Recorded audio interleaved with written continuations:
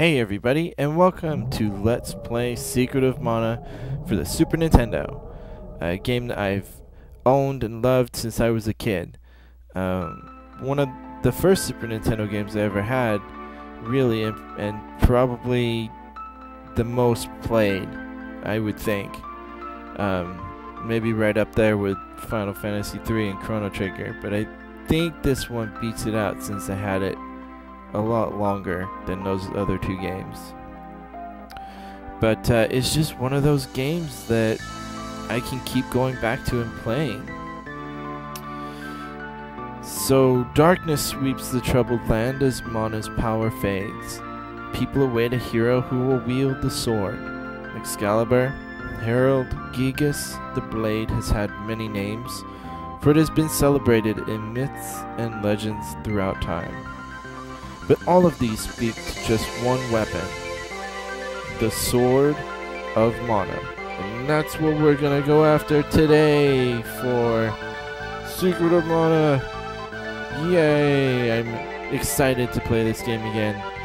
Um, and that'll be it for you guys. A whole 20 years after it originally came out. Um, a little bit of trivia. Uh, Secret of Mana was originally supposed to be titled Final Fantasy Adventure here in the, the United States. Uh, probably because the, the title Final Fantasy is was well known at the time, and they figured it would help sell more games. But I, I think I think this did pretty well without the uh, Final Fantasy title uh, attached to it. So this is our main hero, Trombi is his name, because I'm naming him after myself. Using the power of mana, civilization had grown strong. In time, mana was used to create the ultimate weapon, the Mana Fortress. This angered the gods, they sent their beasts to destroy the, the fortress. The blah, blah, blah. I can talk today. A violent war rocked the world, and Mana seemed to disappear. Before all was lost, a hero with the Mana sword smashed the fortress. Though the civilization had been destroyed, the world was peaceful again. But time flows like a river, and history repeats. Mode 7 in all its glory. Here we go. Hey, guys, wait up! Ah! Shh, be quiet. The Elder will find us here and he'll be mad. Yeah, we're not supposed to be here. There's a ghost around. Do you really believe that? People say that to scare us. But I heard Grandma say something about a shiny object near the falls. That must be some kind of treasure. We have to find it. Help! I'm falling! Ah! Ah! Um, let's run away and pretend that didn't happen. And yeah, that must not have been a very high waterfall. Ouch! Phew! No way to get back up. Now what am I gonna do? Perhaps there's something shiny that we can use. Trombi. Trombi. What? Well, that certainly looks shiny. The village is this way. I have to find something to cut through. Well, that sword looks like it could cut through. Let's just... This isn't conspicuous at all. Let's just pull it out this this sword, this stone. Trombi, remove the sword. Who are you? And what's the sword doing here?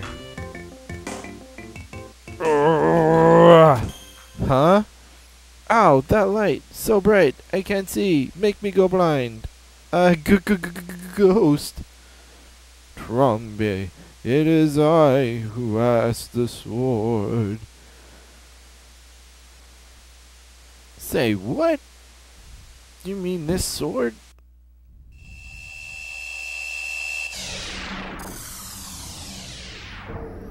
And an even brighter flash of light occurs. The brilliant light is gone in an instant. I have to get back. Alright. So, I can cut through with this sword. Great. Thanks for pointing that out right as I was about to explain something. Alright, so this is our hero, Trombi, or whatever you wish to call him. Um, he doesn't have an official name. So feel free to call him whatever you want. He can walk around. He can run by pressing the A button, but it uses up his invisible charge meter. Um, you can uh, swing with your weapon by pressing the B button, and that also uses your invisible charge meter. By when your meter is fully charged, you can do a, a fully charged attack. But if you attack while it's still charging, the attack will be significantly weaker, as you'll see in a, in a little bit.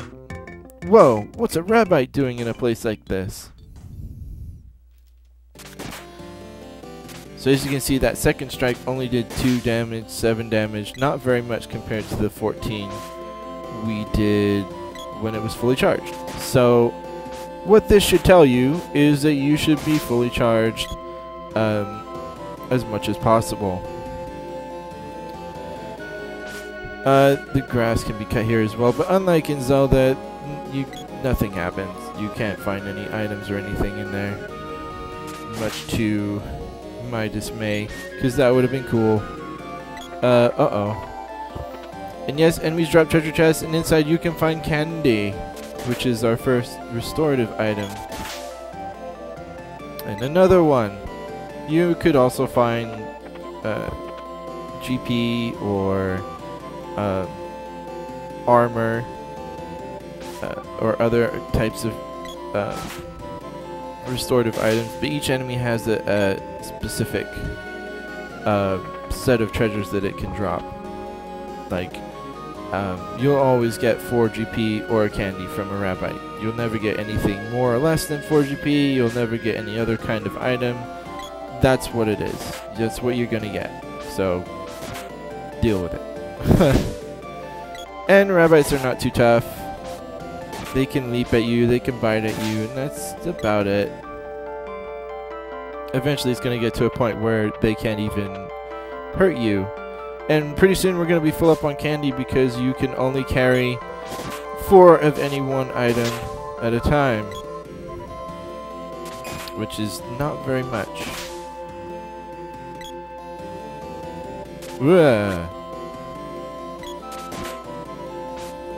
And this, uh, my weapon just uh, gained a level. All your weapons can gain levels, but only up to a certain point. Um, you have to collect certain items, which I'll explain later on in the game, and you can level up your items. You can change them, have them reforged. As you can see, it says energy orb 1 of 1. That means I can raise it up to a total level of 1 the, uh, as of right now. Um, because I'm only at level 1. I only have the level 1 sword. When I upgrade it, I can level it up even further. And the same goes for magic, although that limit is handled in a different way. Again, something I'll talk about um, later on when we get to it. Uh, to gain access to the menu, by the way, just press the Y button for the hero. When we gain other characters, you will be pressing the X button to access their menus. I'm not sure why they didn't just assign it to one button, but maybe they felt bad that the X button wasn't being used and they figured, well, why don't we just give it something to do so it's not just hanging around, not doing anything. As you see, we're already full up on candy because the candy won't fit. We have incredibly tiny pockets. And we gained a level. Excellent. So, what I do at the beginning of the game normally is I will walk around this area a couple times and level up to level 3. Um, now that's entirely. Ow. Wait, wait, wait, wait, wait, wait. I don't appreciate. Okay, really? Um. Okay, good. There we go. That was okay. They had me cornered there for a second because I couldn't attack them on the bridge, but they could attack me, and they did. Anyway, first thing I want to do is come in here and um, I don't believe I have enough money for it yet. Well, nuts to that. We're gonna gain some more money though in a little bit. You want to get the bandana, uh, which is 50 GP. And each rabbit we defeat drops 1 GP. But yeah, I, I usually level up to um, level 3 before I enter the next, or progress in the story. You can enter the village and come back out as you as you can see, because that's what I just did. Uh, stop it.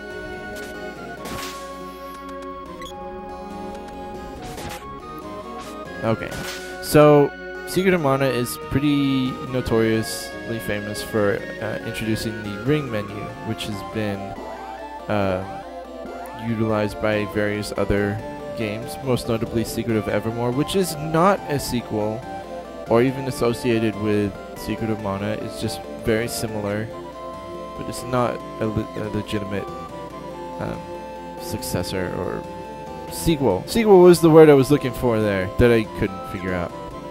Anyway, this is your main menu uh, of options.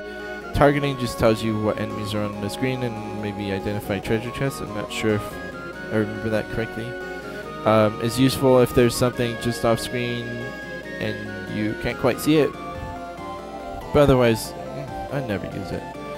Stats just show you your stats. You can check how much experience you need for the next level, which is good, and how much GP you have. So we could go and get that bandana if we wanted to, but I'm not gonna.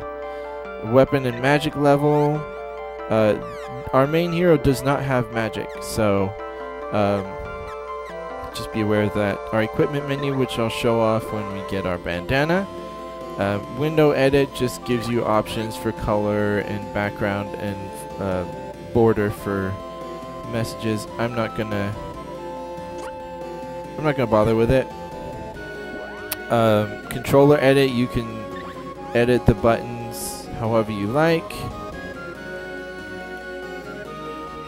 Uh, so if you're not comfortable with the controls, you can change them up however you like, which is really, really cool.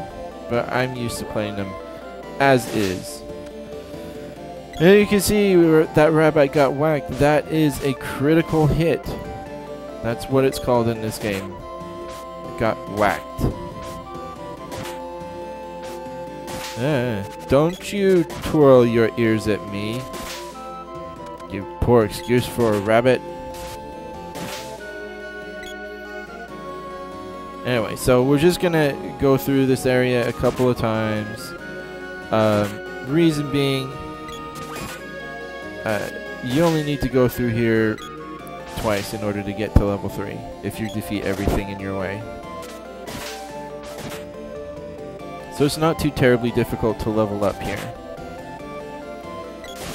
And level 3 is not such a um, difficult level to attain.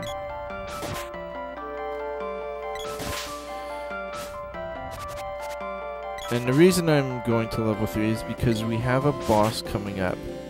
And it's just going to make it easier to get through it.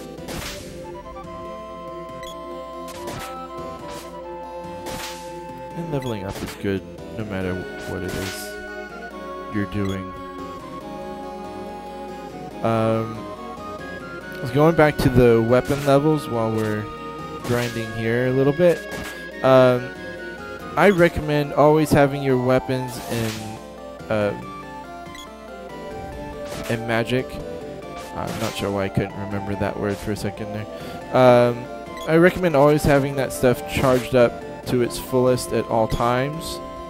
Whenever you get a new weapon orb and re reforge the weapons, or you gain a new um, level in magic, spend some time leveling up. Um, so you're at your max value, uh, uh, max level at all times. Um, whoops, totally missed that one. It's just. Oh, okay, really? What is go? What is this? What is going on? I don't. I don't appreciate it. Rabite. Okay, so now we're at level three. You can see that didn't take very long, and now we can kill Rabites in one shot, which is good. So getting to the village should be even faster. Whoops! Totally missed. But you guys saw that. Or did you? No, you didn't see anything. I totally hit that guy. I know what you're talking about. Candy won't fit! You may notice my hit points have been fully restored from that level up. Anytime you level up, um, that character's hit points get fully restored. Note that, oh gosh, that does not apply to your allies. If, let's say, the hero um, levels up, nobody else in the party is going to have their hit points um, restored. Only the hero. So just keep that in mind. If you're low on health but you're very close to leveling up, it might be worth it to just try and, and gut it out um, so you can get that full restore. Or if you're right before a, a boss and you know you're close to leveling up, it might just be advantageous to you to go back a few screens and kill a few more enemies to get that level up so that you are at full health for the boss. Just something to think about. Um, so right now the only useful item to get here is the bandana, which we're going to equip for an extra 2 defense, which is great. You can explore the town, there's not much to see. There's an inn you can go to, which is, you know, fairly useless at this point. Um, but if you're in bad shape, you, I don't know. I, I, I wouldn't even bother. You'll you'll see why in the, in a minute. And talk to this guy. There's a strange guy in here. He looks kind of scary. Check this guy out. Some kind of knight hanging out here. Um, by the way, all the shopkeepers look the same, the exact same, just like Nurse Joy in Pokemon. They are all. It's like a, one huge, gigantic family. And that'll be funny later on uh, much later on in the game. Hopefully I remember to tell you about it. Trombi, you're not hurt. They just told me what happened. I thought you were a goner.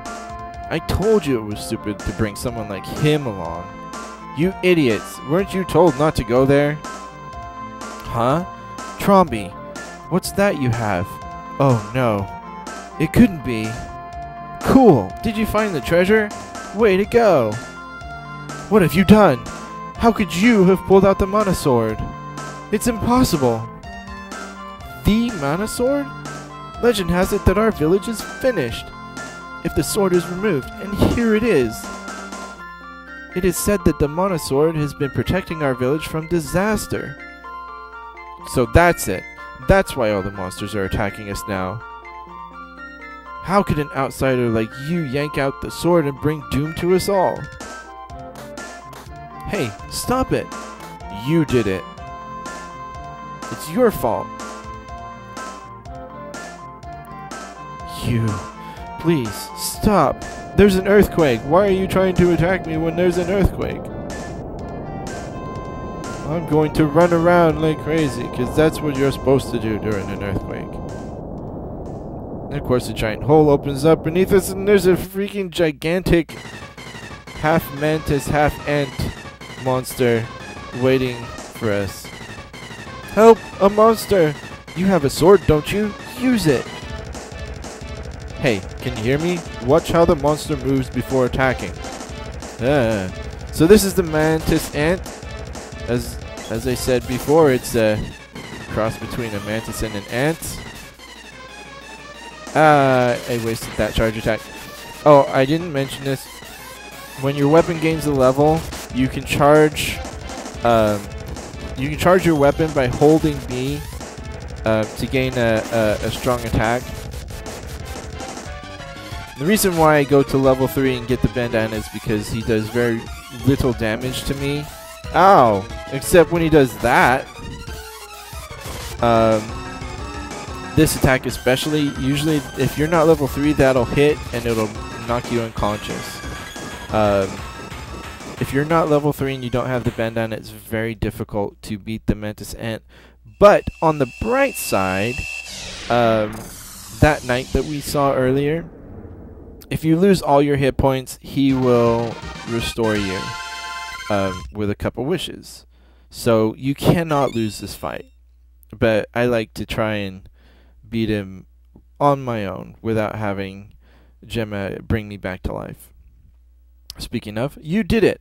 Wait there, I'll pull you up. And the victory fanfare means we did it! And Elliot's gonna run off screaming like a little girl. That appears to be the real Mana sword. Huh? What? It is supposed to be pulled out by a knight in times of great trouble. Problem is, you're too young. Something must have happened to the Mana sword. Here, it's yours. I'm sorry, but the sword is losing its power and must be re-energized. Only the person who pulled it free can do that. What should I do? Visit Sage Luca in the Water Palace. She's been protecting these lands for over 200 years. Listen to her advice.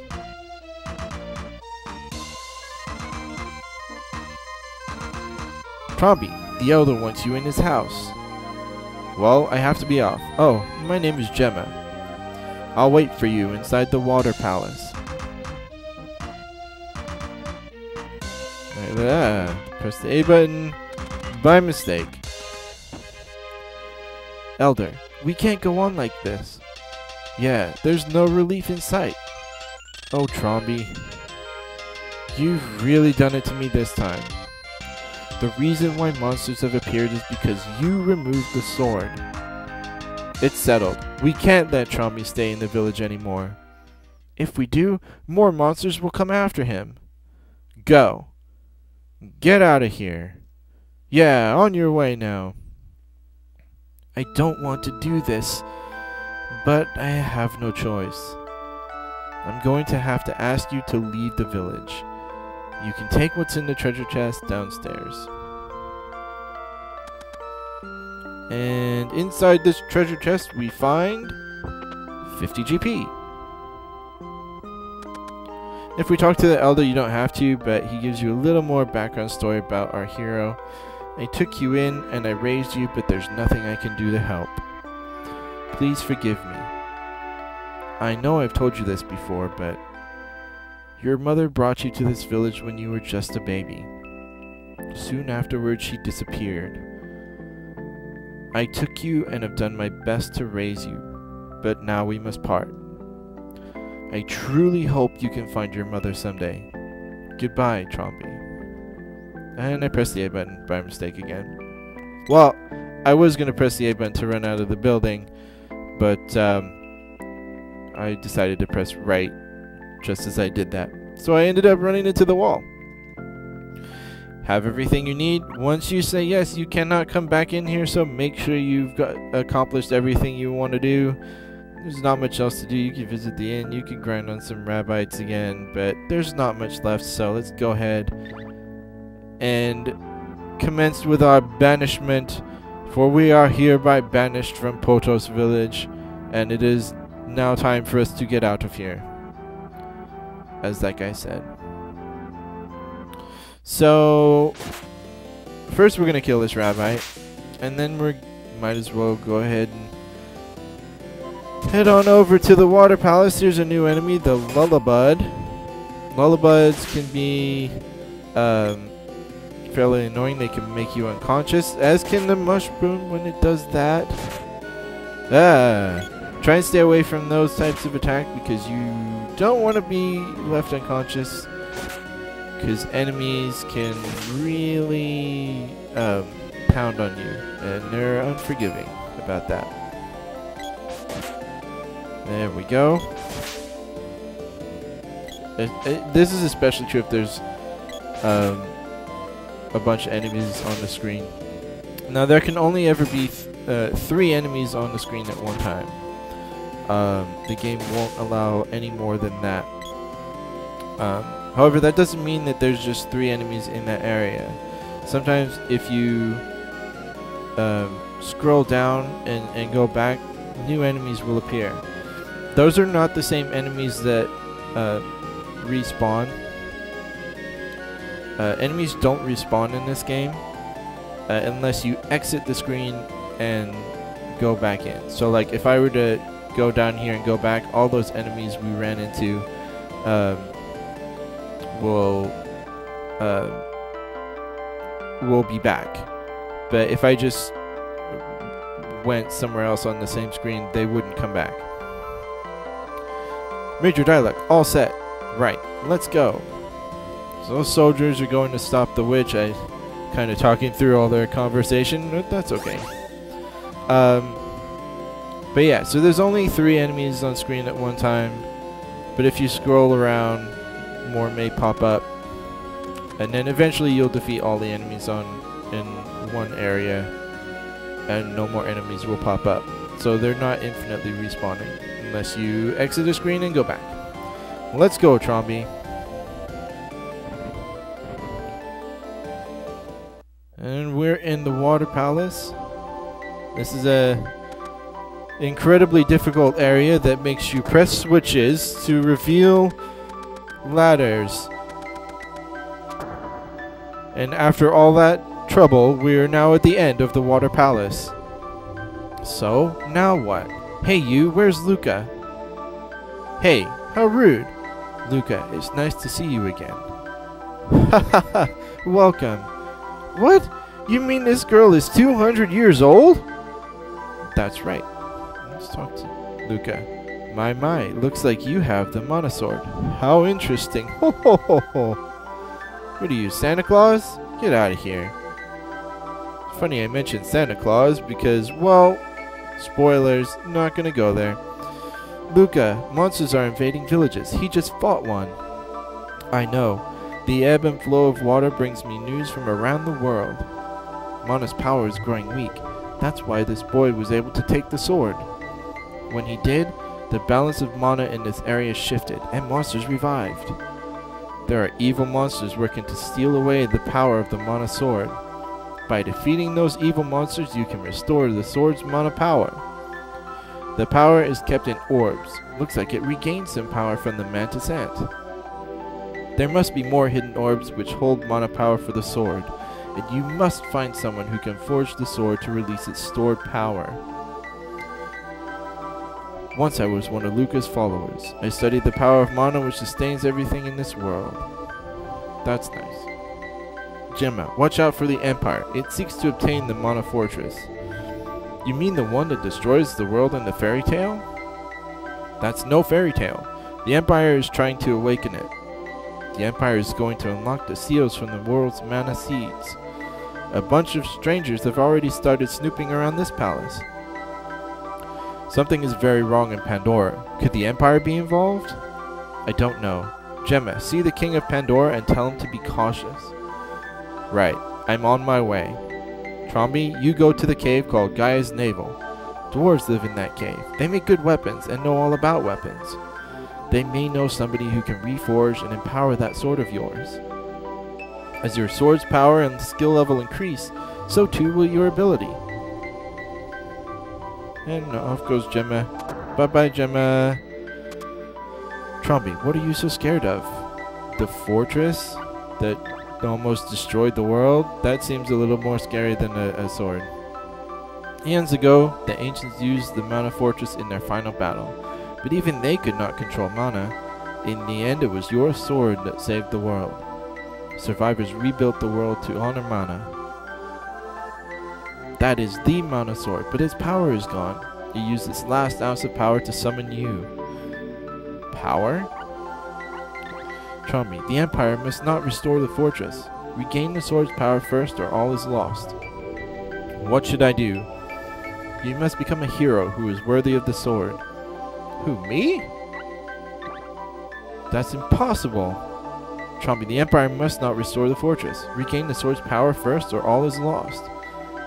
And then you're just gonna repeat what they said. So you have to choose OK in order to progress the story. Enough. Hold the sword up to the seed. And the flashy light show with this levitating seed, and we get a little uh, more charge. This actually doesn't isn't important until we get magic, but it doesn't affect. At least it doesn't affect anything uh, gameplay wise yet. For a moment, the seed and the sword became one. You have sealed the mana seed with your mana sword. Mana, mana, mana, mana, mana. Now the mana power from the seed will be sent only to you and your sword. You'll be able to gain power from the mana seed wherever you are. The world has eight palaces. Visit them all and receive the power from them all. Just like Mega Man. Only not really. Take this spear with you. Mana Guardians used it long ago. Yay, we got a new weapon! So we're going to equip that as soon as we can so we can uh, attack with it. It will grow and regain its power just like your mana sword. There must be more weapons like this spear in the world. Find them. I'll restore you. Want to save the game? Why, yes, I do, thank you. First, head for Gaia's Navel like Jema said. Look for the underground palace. To reach Gaia's Navel, head south through the realm of Pandora. So, at this point, this area, this water palace, and Luka becomes an infinite source of free healing and saving. So if you're grinding stuff like weapon levels or magic, this is a fantastic place to go in the early game. Um, because you can recharge your health and magic for absolute free and it's really good. So we're gonna call it an episode here. I'm sorry if it was so long, but um, hopefully things will go a little faster now that um, we're out in the world and we got our sword and our spear and we're ready to go. We've got an idea of what we're doing. And uh, next time we'll see if we can't get to Gaia's Neville and uh, navel is what I meant to say there. Not Neville. This isn't Harry Potter. Trombi. This is not Harry Potter. He's not in here. Um, so we're going to Gaia's Neville and uh, see if we can get our our sword reforged and powered up. So I'll do that next time on Let's Play Secret of Mana. See you then.